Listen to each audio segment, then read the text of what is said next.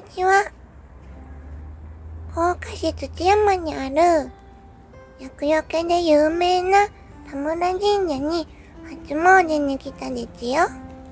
皆さんは初詣には行かれましたか？田村神社は、平安時代に、坂の上田村丸によって創建されたそうです。毎年2月17、18、19日には、厄除け大祭が行われていて、全国からたくさんの方が来られるらしいです。7月には万灯祭があって、たくさんの提灯が並ぶですよ。お姉ちゃんがね、翻訳なんです。なので今年の初詣に、厄除けで有名な田村神社さんに来たねち。田村神社さんは、今にが、右の橋を渡った時にも、来たことがあるんです。連れてきてもらったんです。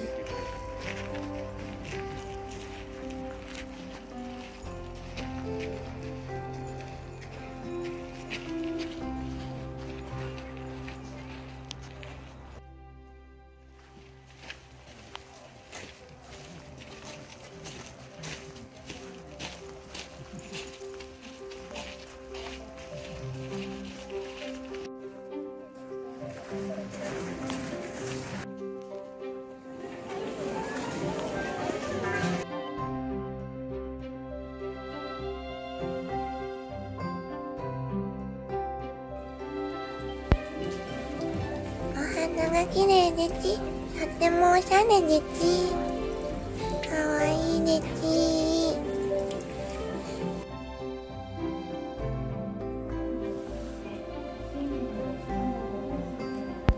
福豆を買ったです福豆を丁寧に流れる川に自分の年の数を流すことで厄落としになるらしいです。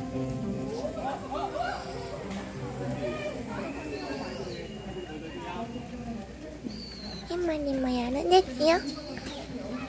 お姉ちゃんに代わりに投げてもらうです。ここから流すです。せーの。よいしょっと。あらあんなとこに乗っちゃったです。川にね綺麗な錦鯉さんがいるんですよ。いるかな？あ、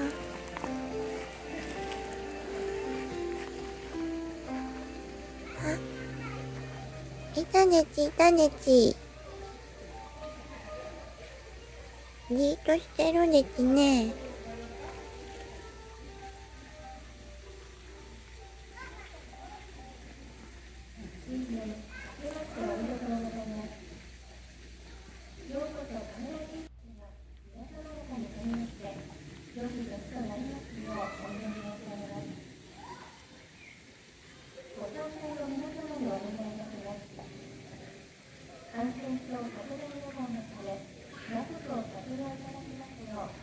ご理解とご協力をお願い申し上げます。心静かにお願いくださ平成16年生まれ平成2年生まれ昭和37年生まれの女性が婚約の厄年に当たりその前後の年にお生まれの方がそれぞれ毎役後役の厄年に当たります。間役除けのご祈祷をお受けになられます。ようご案内申し上げますなお昭和61年まれの女性が大役の年にあたります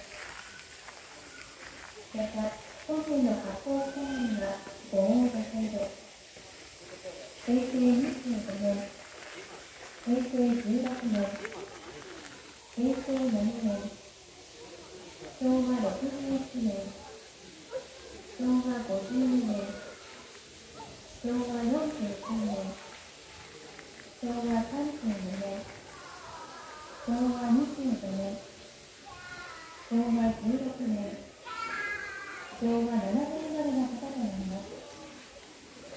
発行向けのご記帳をお受けになられますよう、ご案内申し上げます。ご記帳が本日の間に合うことがご心配の方は、ご記帳のお申し込み時に受付へお申し込みください。その紙とお手紙をお渡しし、後ほど T シャツのみでご記帳させていただきます。では、今日申し込みてお願い寒そうだったけど元気な可愛い錦鯉さんに会えてよかったです。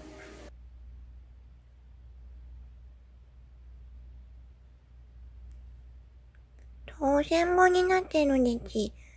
前は行けたのにな来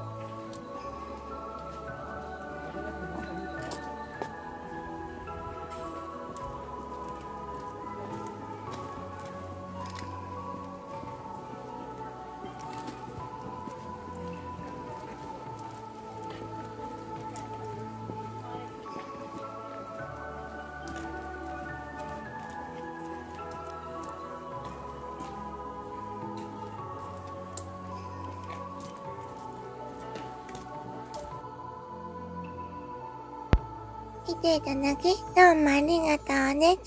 じゃあね、バイバーイ。